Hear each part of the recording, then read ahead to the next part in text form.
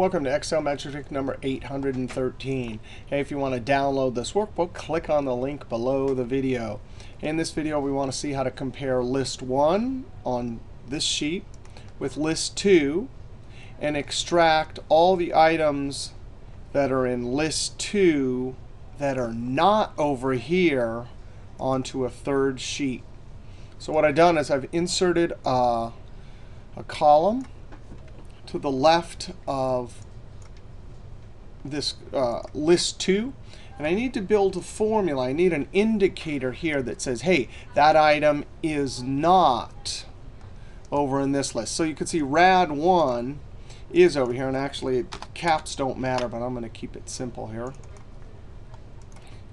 A, a big R is equivalent to a, a small r. But so this one you can clearly see is over there. One of the six. So seven. Let's see. So seven is here, but not over in list one. And that's where we need to have an indicator here. Now we're adding this extra column here to indicate when a particular record is not over there. That'll help us when we go to extract them onto a third sheet. Now we're going to use the match function. The match function is a type of lookup function. But the match, match function we could say, hey, match, please go look up rad. There's the lookup value, comma. And the place we want to look it up is in the range over on this sheet. So I have to insert a sheet reference here. So I click on list 1. I highlight this whole range. Notice up here we can see our formulas start to emerge. There's uh, sheet the sheet name. There's list one you could see there, and it's up there. That explanation point means this is a sheet reference. A2 to A15. Now I'm going to copy this formula down, so I need to lock that. So I hit the F4 key, and you see, see that it's locked. Now I'm going to click up here, and comma, and the match type is exact match. So I'm going to put a 0. Close parentheses, and then I hit Enter. Now right now that gives me, what? 1?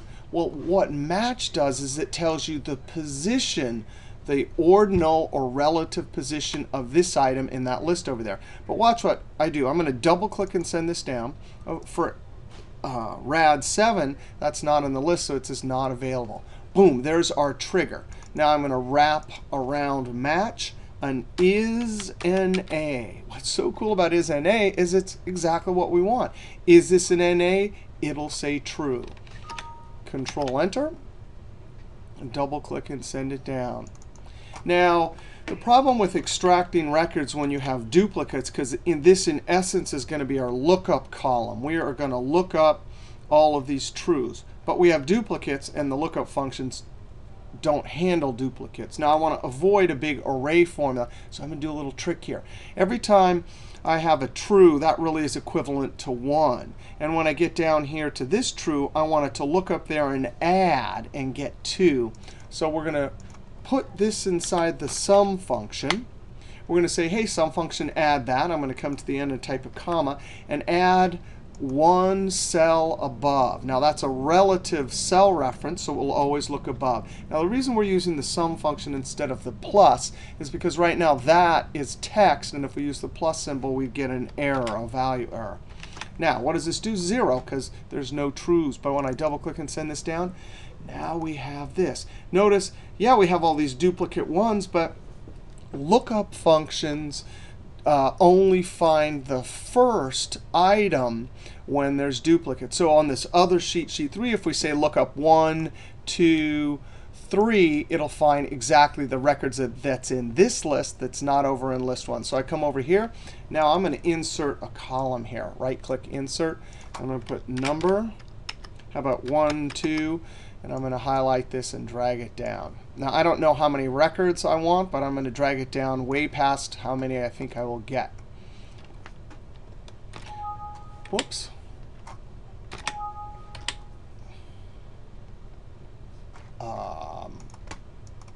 Trying to do my keyboard shortcut, but it wasn't working. I just wanted to add some borders everywhere.